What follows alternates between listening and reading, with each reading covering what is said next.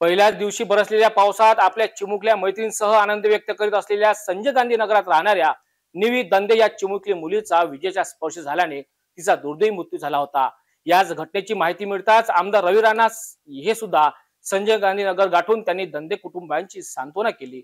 कुटुंबाला चार लक्ष रुपयाचे सानुग्रह अनुदान मंजूर करण्यात आले. तर याच घटनेत जखमी झालेली वंशिका लोणकर या मुलीला तिचे संपूर्ण शिक्षाकरिता आमदार रवी राणा यांनी दत्तक सुद्धा घेतले. सर्वसामान्यांसाठी नेहमी तत्पर असलेले आमदार रवी राणा यांनी वीज पडून मृत्यू झालेल्या संजय गांधी नगर येथील रहिवासी निवी निलेश दंदे हिचे घर गाठून नातेवाईकांची सांत्वना केली.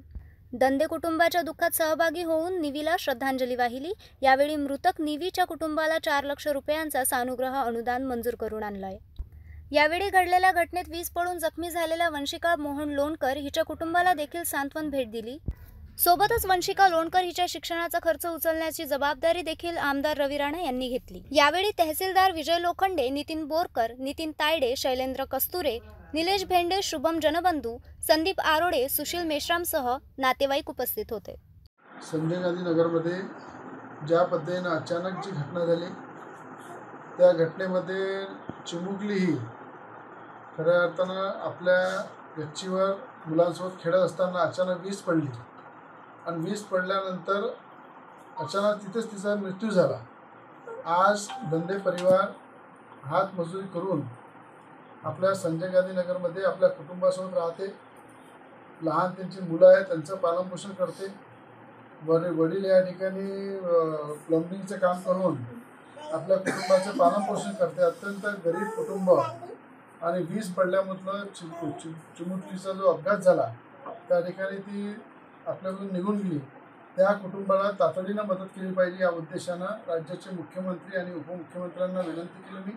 जिल्हा अधिकाऱ्यांना विनंती केली तहसीलदार साहेबांना विनंती केली की अत्यंत कठीण परिस्थितीमध्ये हा गरीब गरीब परिवार आहे.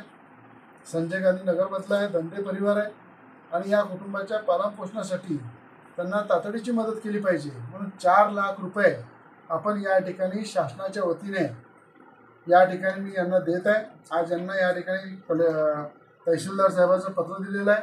आणि बुधवार गुरुवारपर्यंत त्यांच्या अकाउंटमध्ये चेकसुद्धा येऊन जाईल. तर अशा प्रकारची तातडीची प्रोसेस या प्रस्तावाला मान्यता घेऊन जिल्हाधिकाऱ्याची मान्यता घेऊन तहसीलदारची मान्यता घेऊन या ठिकाणी आपण या कुटुंबाला चार लाख रुपयाची मदत तातडीची केलेली आहे. आणि येणाऱ्या पाच सहा दिवसांत त्यांच्या अकाउंटमध्ये ते पैसेसुद्धा चेकच्या द्वारे येणार आहे. आणि हा शासनाचा लेटर या कुटुंबाला मी सुपूर्द करत आहे. जेणेकरून आज हा अपघात झाला. हा अपघात कुठं होऊ नये. पण झाल्यानंतर या गरीब कुटुंबासोबत उभं राहिलं पाहिजे. त्या कुटुंबाला मदत केली पाहिजे. या भावनेतून या परिवाराचा सदस्य म्हणून या ठिकाणी मी या मदत करण्यासाठी तहसीलदार या ठिकाणी परिसरामध्ये सगळे युवासेना पार्टीचे कार्यकर्ते आम्ही इथं आलेलो आहे. मी या ठिकाणी यांना मदत करतो.